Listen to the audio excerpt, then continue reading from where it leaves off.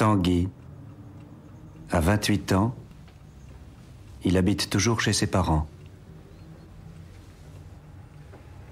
Je t'aime, maman. Moi aussi. Et je t'aime, papa.